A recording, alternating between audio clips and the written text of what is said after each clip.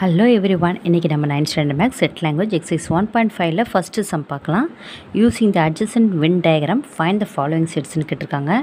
அவங்க ஏபிசின்னு மூணு செட்டு கொடுத்துருக்காங்க வென் டயக்ராம் கொடுத்துருக்காங்க. ஃபஸ்ட் கொஸ்டின் என்ன கேட்டிருக்காங்கன்னா ஏ மைனஸ் பின்னு கேட்டிருக்காங்க. ஏலேருந்து பிஏ எடுத்துருன்றாங்க. ஏலேருந்து பிஏ கேன்சல் பண்ணோம்னா நம்மளுக்கு என்ன ஆன்சர் கிடைக்கும்னு கேட்டிருக்காங்க. அப்போ நம்ம சியை பற்றி யோசிக்கக்கூடாது ஏ பிஏ மட்டும் நீங்கள் பாருங்கள் பி ஃபுல்லாத்தையும் எடுத்துகிட்டு நம்மளுக்கு மிச்சம் ஏல என்ன வரும்? த்ரீ ஃபோர் சிக்ஸ் அதான் இதோட ஆன்சர் இப்போ B minus C second sum பார்த்திங்கன்னா பி மைனஸ் சி பியிலேருந்து சி ஃபுல்லத்தையும் எடுத்துட்டோம்னா அப்போ இதோட ஆன்சர் என்னது? Minus one five seven third பார்த்திங்கன்னா A dash union B dash A dash பார்த்திங்கன்னா ஏவை தவிர்த்து மிச்சம் எல்லாத்தையும் எடுத்து எழுதணும். இப்போ ஏவை க்ளோஸ் பண்ணிக்கோங்க. மிச்சம் என்ன இருக்குது minus three zero one two five seven eight எல்லாமே வரும். அதுதான் ஏ டேஷ் ஏவை மட்டும் க்ளோஸ் பண்ணிவிட்டு மிச்சம் அந்த வெண்டைகிரம் இருக்க எல்லாமே எடுத்து எழுதணும். பி டேஷ்னா பிஏ மட்டும் நீங்கள் க்ளோஸ் பண்ணிடணும். அதை மட்டும் எழுதக்கூடாது. மிச்சம் எல்லாமே வரும். Minus three zero one two three four six இது பி டேஷ்க்கு அடுத்தது என்னென்னா A dash union B dash சொல்லியிருக்காங்க. ஏ டேஷ் கண்டுபிடிச்சி வச்சு இப்போ யூனியன் பி டேஷ் அப்படின்னா ரெண்டுத்தில் ரெண்டுத்தையும் சேர்த்து எழுதணும். Minus three zero one two three four five six seven eight ஒரே நம்பர்ஸ் வந்து செகண்ட் டைம் ரிப்பீட் ஆச்சுன்னா எழுதக்கூடாது. ஒன் டைம் தான் எழுதணும். இப்போ ஃபோர்த் சம் பார்க்கலாம். A dash intersection B dash கேட்டிருக்காங்க. இப்போ இன்டர்செக்ஷனாக ஏ டேஷும் பி டேஷும் ஏற்கனவே கண்டுபிடிச்சாச்சு. இன்டர்செக்ஷனாக சேமாக இருக்கிறது தான் intersection minus three zero one two அதாவது answer minus three zero one two அதுதான் A dash intersection B டேஷோட answer B union C whole dash நான் பி யூனியன் சி ஃபஸ்ட்டு கண்டுபிடிச்சிருக்கேன் அது தேவையில்லை. நீங்கள் ஸ்ட்ரெயிட்டாகவே B union C whole dash கண்டுபிடிச்சி போட்டுடலாம் இதுக்கு.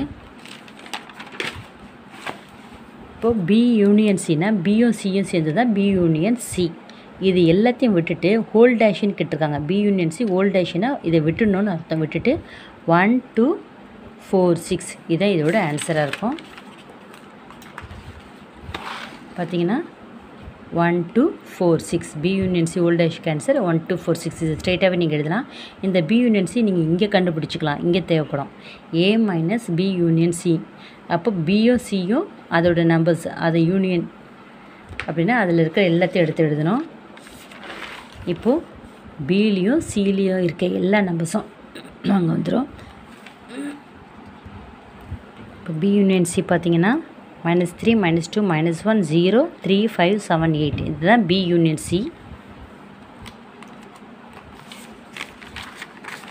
இங்கே வந்திருக்கோம் பி யூனியன் சி அதெல்லாம் எடுத்து எழுதிப்போம். இப்போ ஏவோட நம்பர்ஸ் பார்த்திங்கன்னா ஏ செட்டில் இருக்க எல்லாத்தையும் எடுத்து நம்ம எழுதணும். எழுதிட்டு மைனஸ் பி யூனியன் சியில் என்ன கண்டுபிடிச்சோம்? இதில் டேஷில் பி யூனியன் சி அதை கண்டுபிடிச்சது எல்லாத்தையும் எழுதி எழுதிட்டு ஏலேருந்து பி யூனியன் சியை நம்ம மைனஸ் பண்ணுறோம் அதே நம்பர்ஸ் வந்தால் கேன்சல் பண்ணிடுறோம். இப்போ minus two minus two cancel பண்ணியாச்சு. மைனஸ் ஒன் அப்புறம் த்ரீ கேன்சல் பண்ணியாச்சு. பண்ணிவிட்டு இப்போ ஏலேருந்து தான் பி யூனியன் சியை மைனஸ் பண்ண சொல்லியிருக்காங்க.